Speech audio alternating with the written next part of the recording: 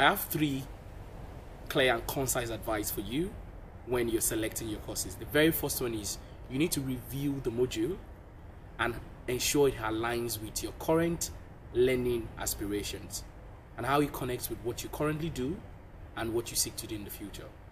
The second advice would be for you to understand the element of the course and how you think it can aid the work that you currently do and how you want to improve on the work that you do back at home, either professionally or personally. The last one will be for you to understand what the course offers you beyond the conventional classroom settings.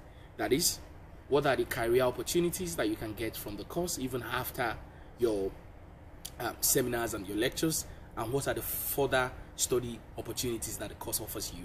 And also, you can think about um, the, the professors that are in the department of your study. How well do you think they can support your learning um, aspirations? That is really, really key and important for you to be able to select the courses that you're about to select before you come to the UK.